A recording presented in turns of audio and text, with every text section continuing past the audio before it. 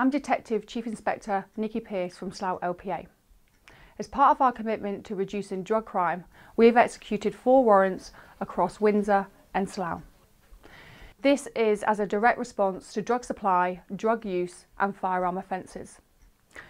We understand the significant impact this type of criminality has on our communities and would like to reinforce that Thames Valley Police do not tolerate this criminality and offenders will be brought to justice.